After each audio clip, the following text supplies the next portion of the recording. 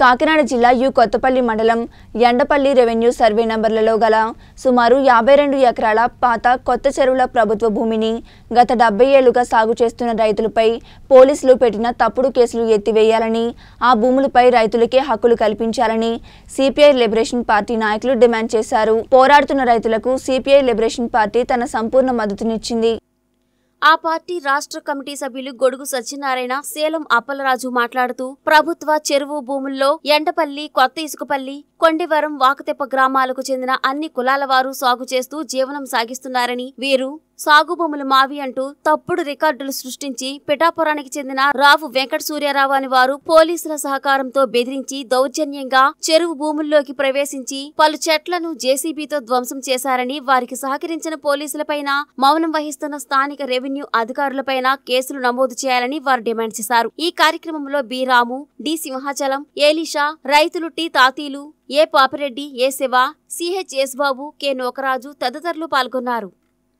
ఆ చెట్టుని ఆఫ్ చేయండి అని మాకు స్టాటస్ కో ఉందని అడిగిన వారిపై కూడా స్థానిక ఎస్ఐ గారు మేమే కేసులు బనాయిస్తామని ఆయన బెదిరించడం జరిగింది. రైతులపై పోలీసు బెదిరింపు తక్షణం ఆపాలి వారిపై పెట్టిన తప్పుడు కేసులు ఎత్తివేయాలి అలాగే సాగులో ఉన్నటువంటి రైతులకే వారికి హక్కులు కల్పించాలని మేము డిమాండ్ చేస్తా ఉన్నాం. అలాగే రెవెన్యూ అధికారులు ప్రభుత్వ భూములను కాపాడటానికి వాళ్ళే కూడా సెటిల్మెంట్ కోర్టుకి వెళ్ళాలని మేము ప్రభుత్వ అధికారుల్ని కోరుతా ఉన్నాం. నా పేరు సత్యనారాయణ సిపిఐఎంఎల్ లిబరేషన్ రాష్ట్ర కమిటీ సభ్యుడిని. మరి భూముల్లోకి మహిళలు కూడా వెళ్తూ ఉంటే మరి మహిళల పట్ల చాలా దుర్భాషలు ఆడుతూ ఉన్నారు. కొంచెం మహిళలను కూడా చూడకుండా ఎలా మాట్లాడుతున్నారో కూడా తెలియకుండా ఉన్నాము మహిళలకి ఎలా మాట్లాడాలో ఏంటన్నది కూడా కొంచెం ఎవరి మాట్లా మాట్లాడి పరిస్థితి పెట్టి మరి ఎవరైనా సరే కొంచెం గౌరవంగా మాట్లాడితే బాగుంటుంది. ఎందుకంటే మహిళా సంఘాలు ఇటు చూస్తూ కూడా ఏదేదో మాట్లాడుతూ ఉంటే మహిళా సంఘాలు విడిచిపెట్టే పరిస్థితి ఉండదు. ఎందుకంటే అక్కడ మహిళ సంబంధించి పోలీసులు ఉండాలా?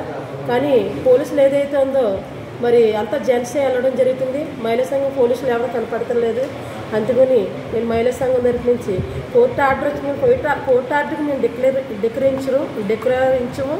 కానీ దానికి డిక్లరించగా మేము మేమంటిది మీరు కానీ అది ఇచ్చేసి మమ్మల్ని ఇబ్బంది ఇబ్బంది పెట్టి విషయంలో మమ్మల్ని కానీ బాధ పెట్టి విషయంలో మేము మాత్రం ఊరుకు చూస్తూ మాత్రం ఊరుకోము. మేము దేనికైనా సరే సిద్ధంగా ఉంటాము.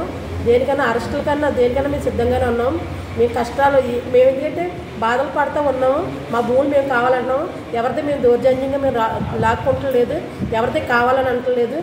ఇప్పుడు ఈ పరిపాలనలో మరి ఎటువంటి పరిస్థితుల్లో ఎలాంటి బాధలు పెడతారంటే మీకు తెలుసు. అందుకని మా భూములు మేము విడిచి విడిచిపెట్టే పరిస్థితి లేదు. మమ్మల్ని బాధ పెడితే మేము కూడా వదిలే పరిస్థితి లేదు.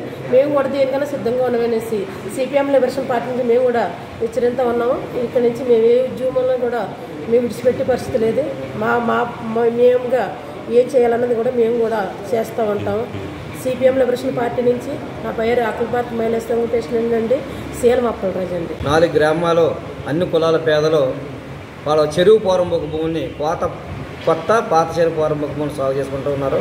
ఈ భూములు మావంటూ పిఠాపురానికి చెందినటువంటి దొరగారు రావు వెంకట సూర్యరావు గారు. సెటిల్మెంట్ కోర్టు నుంచి మేము ఆర్డర్ తెచ్చుకున్నామని పోలీసుల సహకారంతో వాళ్ళు బెదిరించి వాళ్ళ వ్యవసాయాన్ని నాశనం చేసి వాళ్ళ మీద తప్పుడు కేసులు బనాయించి దౌర్జన్యంగా లాక్కునే ప్రయత్నం చేస్తూ ఉన్నారు. ఇది చాలా దుర్మార్గమైన చర్య. ఎందుకంటే రైతులకు అనుకూలంగా స్టాటస్కు వచ్చింది. స్టాటస్కు వచ్చినా సరే బలవంతంగా అందులో వ్యవసాయం చేయడం చాలా దుర్మార్గమైన చర్య. ఇటువంటి పరిస్థితుల్లో రెవెన్యూ అధికారులు చోద్యం చూస్తూ ఉన్నారు. వాళ్ళు జోక్యం చేసుకుని మౌనం వహిస్తూ ఉన్నారు.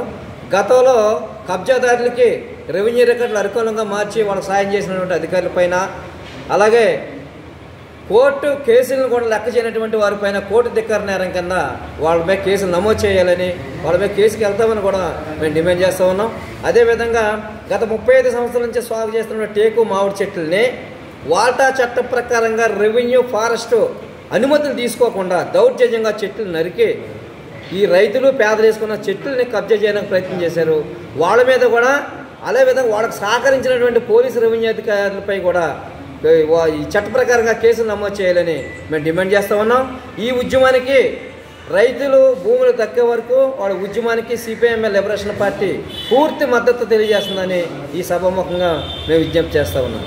నా పేరు Gurugu Satyanarayana CPI ML liberation రాష్ట్ర కమిటీ సభ్యుడు. మొత్తంగా ఇరవై జూలై రెండు వేల ఇరవై రెండున స్టాటస్కో వచ్చింది.